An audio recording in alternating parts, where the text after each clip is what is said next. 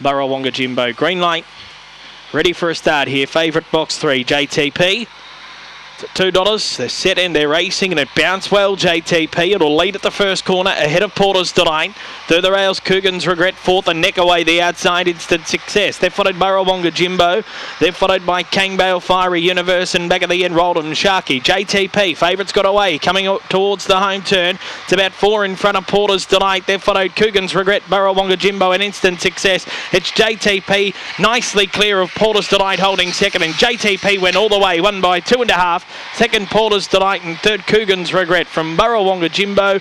Then came Instant Success. They've followed Roldham Sharky, Fiery Universe, and Kangbale. Time here 28 14.